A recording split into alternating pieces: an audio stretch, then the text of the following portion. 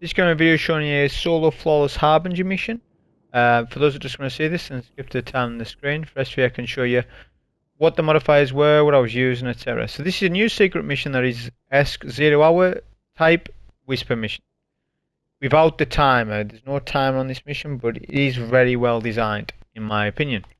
It is a 1270 power mission and the modifiers are income and solar and environmental damage is increased, match game, chaff, empath, champions and unstoppable. So we have to um, take those into account. There's a bunch of triumphs that are associated with this mission also, which I'm not going to go into all of them, but I'm just going to go into the ones I got on my first solo flawless run. So my first solo flawless run, I got the Harbinger, which complete the mission. Then we got Immortal Harbinger, so you do flawlessly without dying. Then you do a solo flawless. This is why the solo flawless is important if you want Alpha Hunter. Then we got Lone Harbinger, complete the activity Harbinger solo. And then we also got complete the activity Harbinger in 15 minutes or less, which I didn't. I done it longer than that. So all I can say is that the Triumph is probably bugged for Hunter Killer. But if it's not procking for you on your solo flawless and it's been longer than 15, go and get a team and do it because it doesn't say you know solo flawless in 15 minutes. It does not say that. But I ended up getting it anyways. So there's a bunch of other triumphs which I'm not going to get into for the video. It's just the ones that I got on my first run. So this is going to be on a warlock. First run. We'll do it on other classes. But we'll do it on a warlock first. So Voidwalker top tree, Vortex grenade, heal and rift. Paired that with the exotic gauntlets Contraverse Hold. So improved charging for our void nades, which we get way more nades than usual. In terms of weapons, we're using the Officer Revolver hand cannon because it's unstoppable champions and it can create Warmind cells. Using an Arc SMG, which we do go from this to the Void Scout at certain times. So we swap between those, but we always keep Xenophage on, an exotic machine gun. So uh, it's very good for this mission. Uh, we've got all Warmind weapons on, so we're using Warmind build with Warmind's protection, Rage of the Warmind, Wrath of Rasputin, Global Reach. Okay, so that's basically all the stuff that we're using. We have got perks to match, so we got machine gun scavenger, recuperation for our health, which is really good. Solar damage resistance because incoming solar is a lot more, and you get wrecked quickly off a solar knight. So we've got double on. Probably could get away with just one. Got unstoppable hand cannon. We had overload rounds on for auto. That was something I was doing previously, so ignore that. And we've got, obviously, ammo finders on. So, that was the setup. So just after reset, you had to come to this uh, particular part at the map to activate the mission. But after doing the mission, the mission actually appeared on the map as a blue icon. Uh, now I'm not sure if that's there for everybody, and it was just like sort of on a timer. But I'm not sure, but the Whisper mission used to able to, used to have to do normal, and then you would you unlock the heroic version on the planet. But when you go to the map, it, doesn't say that it's an heroic version. It just says it's the same. It's just the same, more than likely, um, as what we're doing right now. So, um, with this, you just follow the directions as you see. So, not much to it, but when we get into it, it's like I said, this area is very good, and it was leaked last month. People had got into this area. You you need to shoot Hawkmoon to get through. You don't need to do that now, uh, as the holes always need to be up. And obviously you'll have it on your map anyways. So this is uh, sort of where we want to come to, this balcony area. We're going to take out the sniper first before jumping over. Uh, and then this jump's probably going to be the hardest for people. You want to get to this sort of tree here.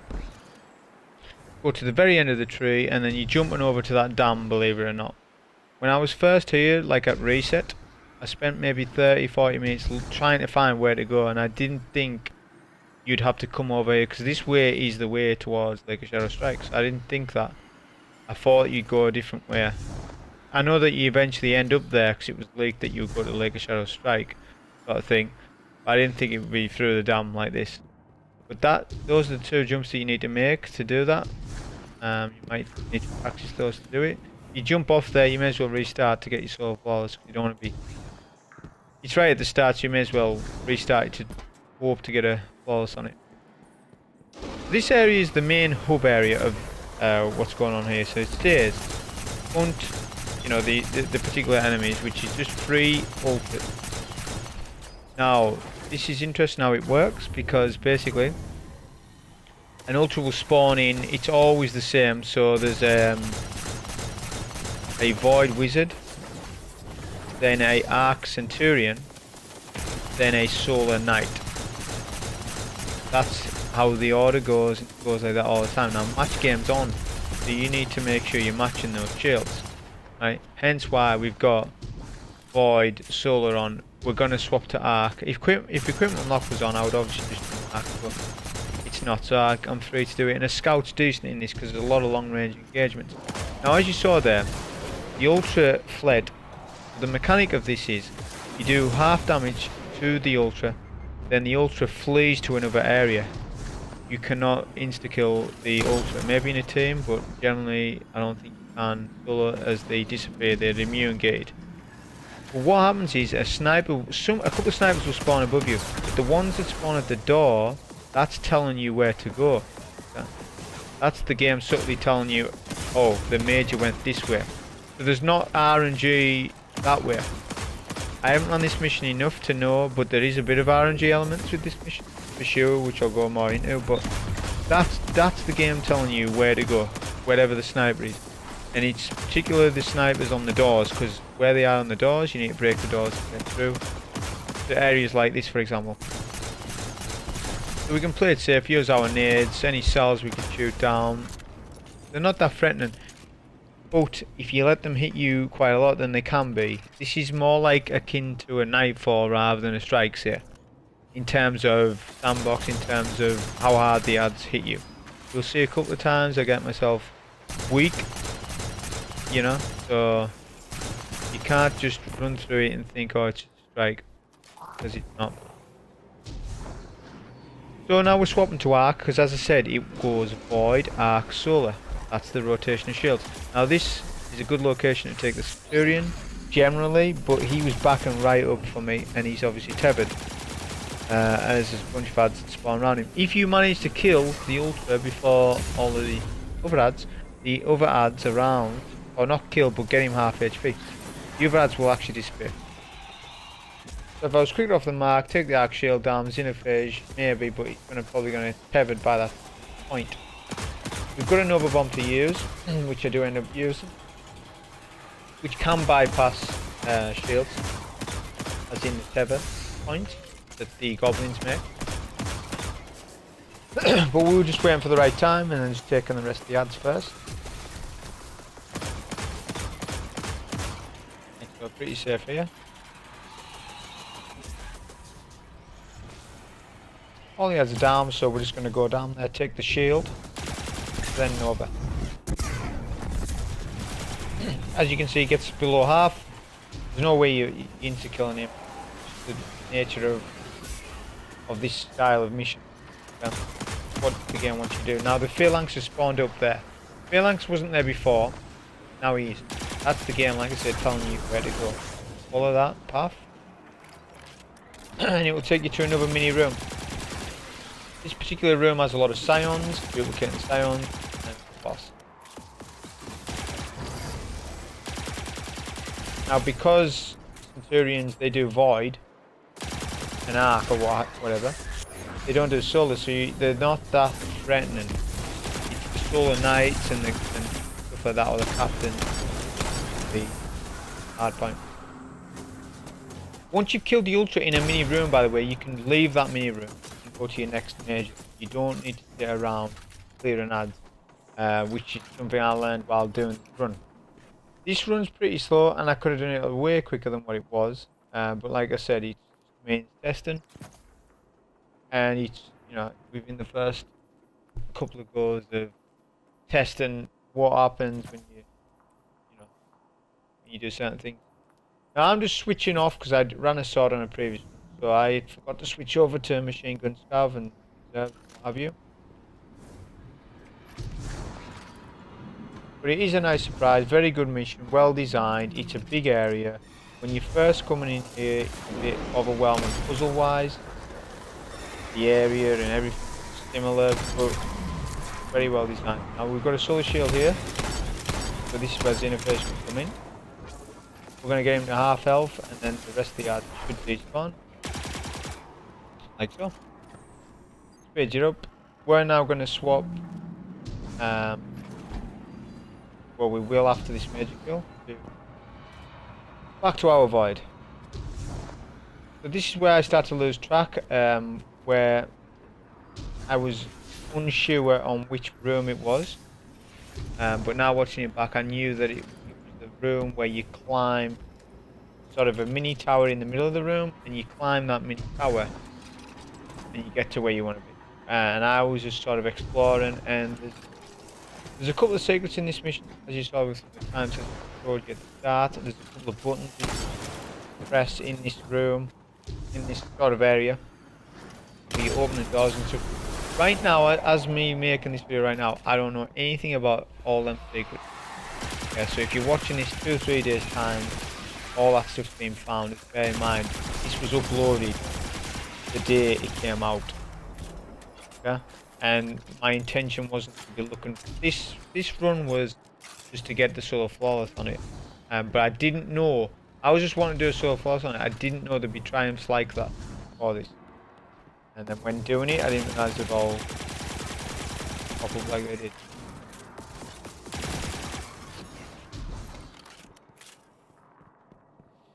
This area is a dead end, which is like as I said, um, I do sort of lose my way in terms of where I need to go.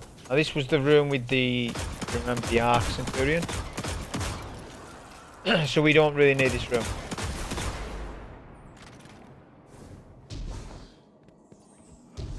where we was. I do know it's the door opposite to me right now. The door opposite to me where I think I need to exploring elsewhere before I go there.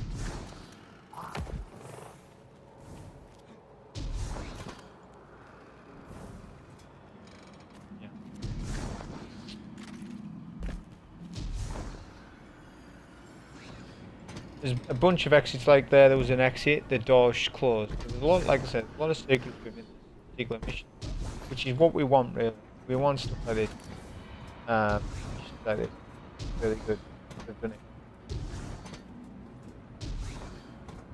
It's also numbered as well as areas. So that's it, uh, area zero, one, two, three. Whether those numbers mean anything, I'm not I just find it strange that they're all numbered like that. But we're going to head back to the area where you meant to go. like I said, if I'd done this over, I wouldn't have uh, messed about like that. I think we tried the other end as well.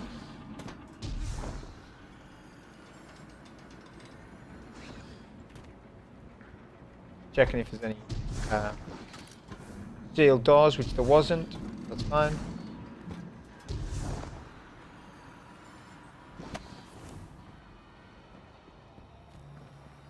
In in that particular room I just passed, there's actually a switch in that room, which I did find. When doing it, I don't have pressing it on this one.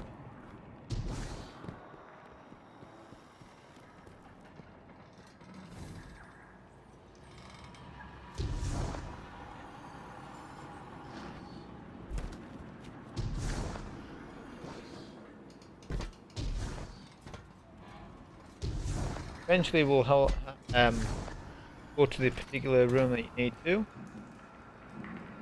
We'll it's not. It's the opposite side. It's like a, you'll see, the, I won't have actually went to that room yet. See,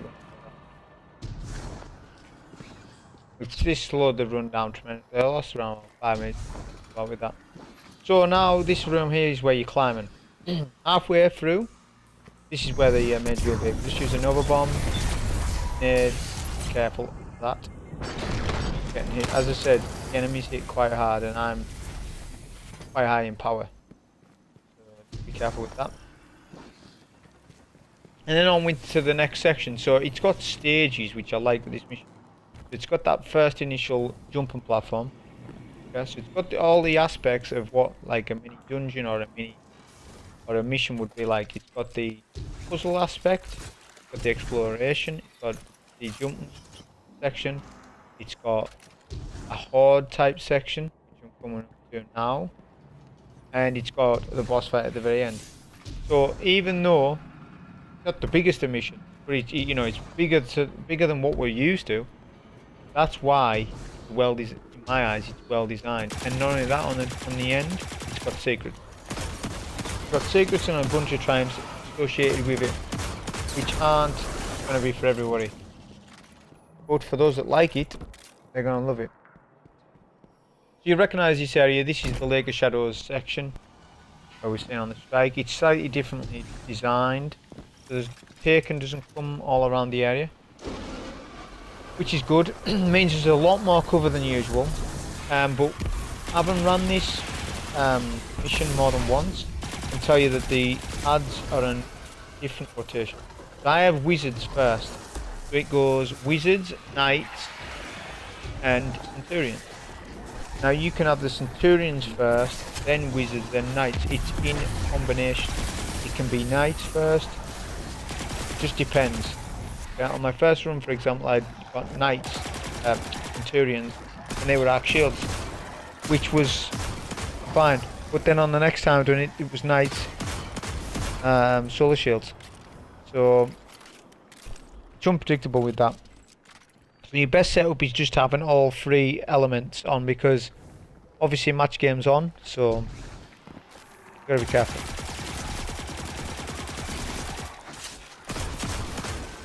Just take out all the remaining ads, which there was a couple hiding, which they do, which they can.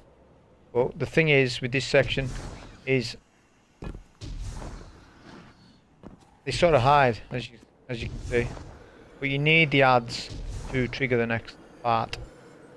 And there's multiple phases in it. You're also going to get champions as well.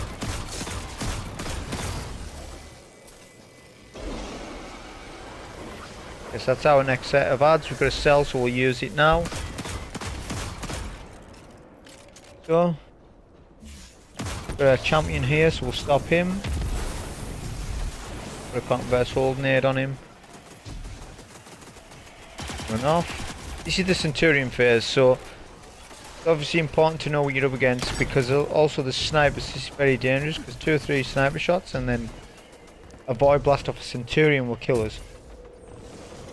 So I would highly recommend using Xenoverse to take out any snipers that you have that are above you because you need to do a lot of map rotation in this one.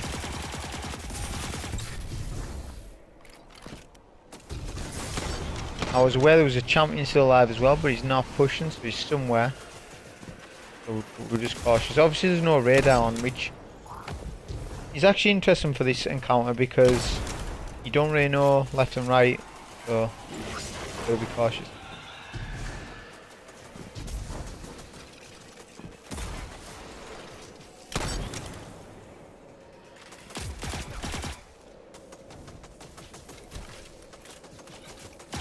We'll go for the shield when we can. And we can use the bit of interface to take him. Or nade. Still sniped up as well, as you can see, got pretty weak there. That's why it's important. Right there as well, literally. That solar damage resistance there helped out with the snipers, basically. If I hadn't had it on, that obviously would have been a death, and I would have to reset.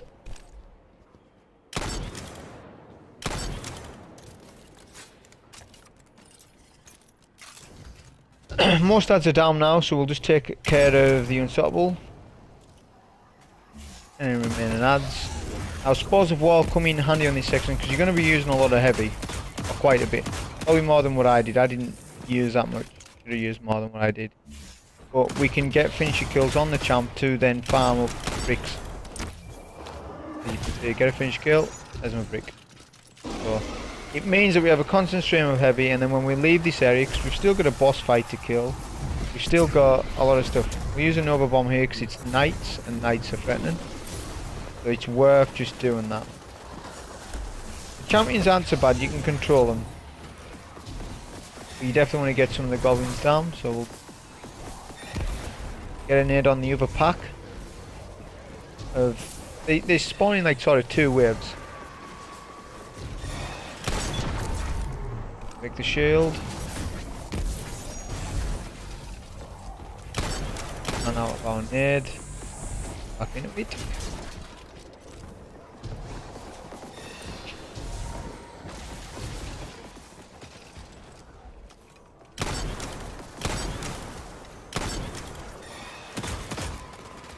Take out remaining odds. The Solar Knight is pretty weak, but there's two champions up, so kind of dangerous. We've got to sell here, which is what we were wanting to do. to clear out any remaining odds.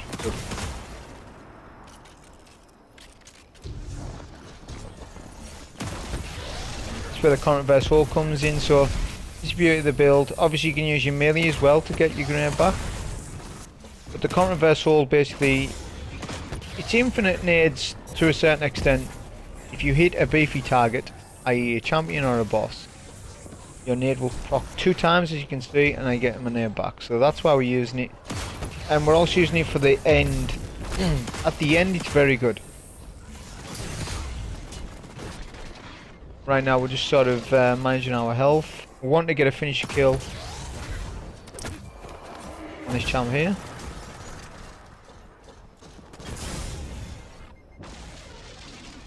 Their covers, shield blasters, and then we'll, you know, then finish it again. So we're max on heavy. That's that part done. There's a chest of spawns there. I don't know why, but just give me glimmer. That's just what happened with it. On with the next section, which is a jumping platform again. Not much to it. you just need to know where all the ad spawns are, the sniper spawns, and where to jump and not to fall off. So obviously fall off, you won't get your solo flawless. You may as well do the solo in you, you may as well do the solo flawless all in one. Not just do the solo then do the flawless. Just do it all in one go.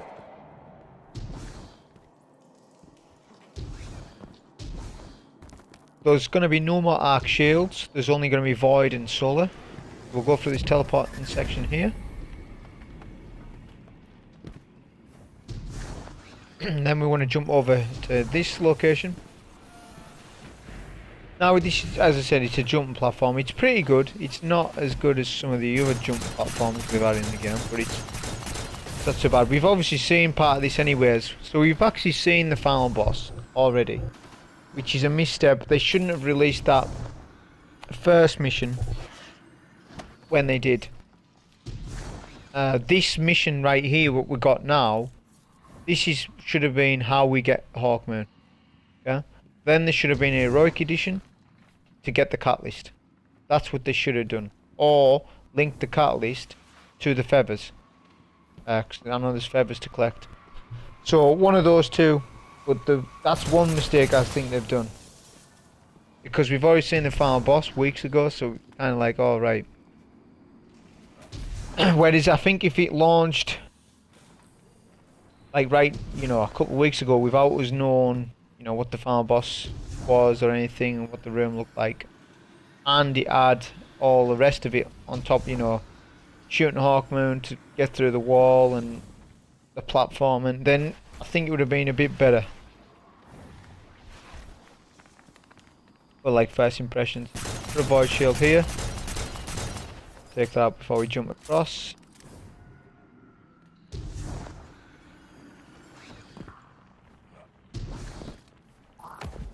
Pipe. You can use interface shade if you wish. I was just using scout save up on ammo just in case. This jump can be dicey, but just make sure you land on the railing. Jump across to the red pipe.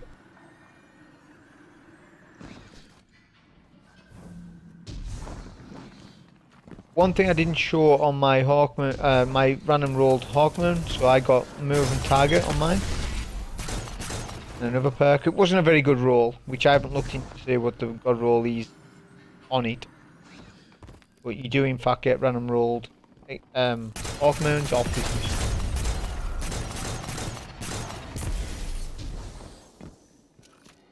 pretty close to the end of the platforming. This bit's going to be the hardest because there's um, there should be one or two snipers, but there's only one sniper on this run. Confusing. On my previous there was two. But you want to make you jump over to the ledge that I'm looking at now. Which you can with properly timed jumps and then you're looking to get over to the ledge. Far, like right in front of us. Then you'll have a sniper to take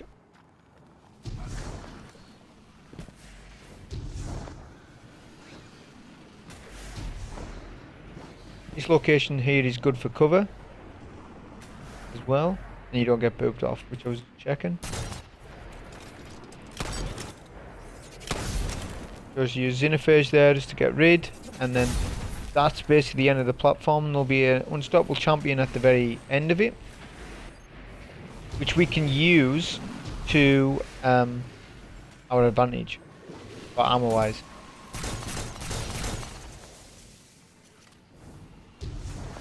Yeah, there's a heavy ammo on that cliff area there as well, so we can consider that. And we've got a heavy brick there, so there's two bricks, and we've got a champion, so we can farm up a bit of heavy. We'll do a stop, do a nade. This is the playstyle of Voidwalker if you haven't seen it. Let the grenade do the work, then we can do it again as you can see.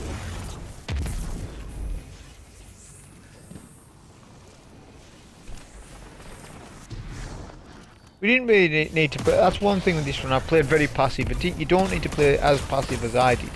But if you play super aggressive, you can wipe unintentionally. Just because of how much damage they do. We'll get into a finisher state, get a finisher kill, get a brick on the floor, and we're max. That's two or three bricks behind us. And the previous area behind us won't close. Now if you wipe at the boss and start killing the boss again, this area will shut off which is interesting. But if you don't, you can still pick up ammo behind. So we'll start off the fight with a grenade and nova bomb on the boss. That will then send the boss away. And then we can fight back from this location. Can also do nades. Now, with this particular... Where this map's designed, you want to play back from here and you want to see if you can get any opportunities to get on the Solar Knights. Obviously they can get tethered at times. But until then, you're just going to be um, keep going for the Acolytes. Now the Acolytes are on unlimited spawn. Now it's weird how this room works, uh, as the two solar, there's one Solar Knight left and right, which aren't safe to get at times because of all the boot walls where the knights are and all the sheer amount of acolytes. And because of solar damage increased. So you want to take them out from a distance at, an opportunity which doesn't always appear. It just depends on when the goblins and if you can get any goblins down that's going to help you to do it.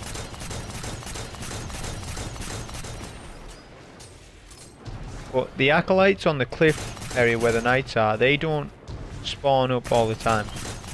The unlimited spawn is on the floor which they'll just spawn over and over. They're on sort of a timer, I believe.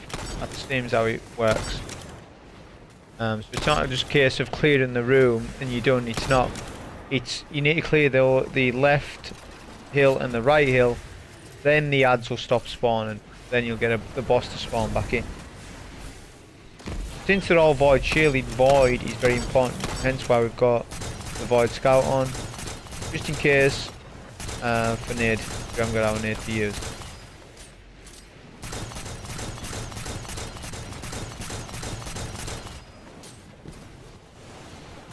This fight, this boss fight in particular is basically um, split up into three sections. So you do a third damage each time, and then then it's just killing the ads, as you can see.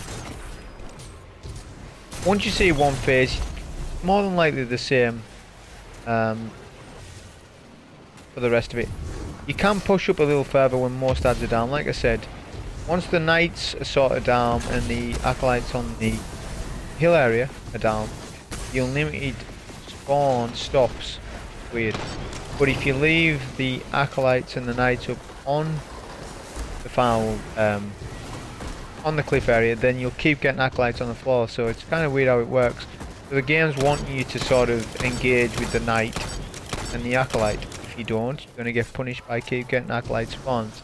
That's basically how it works. Now we haven't got a Nova to use, and we're going to use some Dinnerfish. That's one thing with these bosses and stuff, they're not very tanky. So in terms of damage, you're not going to struggle there, as long as you're above 1270. The main struggle, I would say, would be survivability like so. As you can see though, you can come back every now and then. We want to get him below a third, and then he'll go immune, and then we're on our last phase. So pretty simple when you play um, range like this. Now he's immune. We've got another bomb as well, which we'll save for the final phase. Get up our heavy. There's a, there's more heavy to my right as well, which I actually forgot about while doing it. Got plenty. I'm just looking out for any acolytes left and right. They'll keep spawning their acolyte eyes up, which is fine because it's a small opportunity for ammo and stuff. If you are low on ammo, there is a, um, an underpass area that I'm looking at right now. You can go under. Gotta be there for safety to an extent. Obviously, we can proc, proc a healing rift as well if we're in problem, like in a problem there. Any opportunity you get on the Solar Knight though, get them down like so. they are priority. Uh, if they're not tethered by any goblins, make sure you do.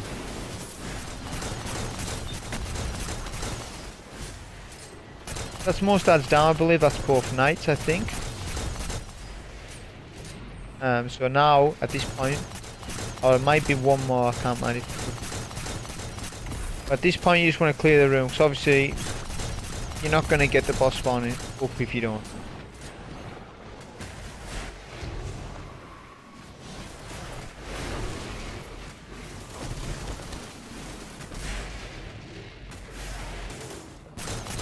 Final acolyte on the cliff area, which will be waiting for an audio audio cue. You'll kind of know when the boss spawns. It'll be a black aura in the middle area, like so. We'll just finish him off with another bomb. His elf is buggy. So you can see that he's fully regen to full, and then all of a sudden he goes down to zero. It's just bugged. He, he technically he was still a third, just the game was showing him at full. Because he wouldn't die from one Nova bomb like that. But there you go, you got the Hawkmoon list and a random rolled Hawkmoon, which wasn't very good. which I don't show in the video, and you'll see all the, you'll see me collecting all the triumphs that I got on the first Solo Flawless, which was very slow. Do it a lot better, but it's just a day one look at it, just to show you the approach of what you do. You play a passive when something new comes out, okay? Um, especially if it's solo Flawless and stuff. But that was the run on it. Hope you enjoyed. Thank you.